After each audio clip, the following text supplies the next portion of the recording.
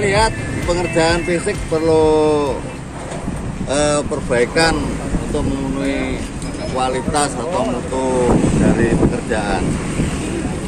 Nah kita sudah pesan kepada rekanan untuk memperhatikan pekerjaannya. Jadi juga harus dilihat cuaca yang sering hujan sehingga percepatan penyelesaian pekerjaan itu menjadi hal utama sehingga tidak terjadi kemunduran sebagaimana kontrak. Nah percepatan ini juga tidak diharapkan untuk asal-asalan pengerjaannya seperti ini kan asal-asalan makanya untuk segera diperbaiki Itu tadi di bagian kuncian ini. ya ya eh, persoalan penambahan semen dan sebagainya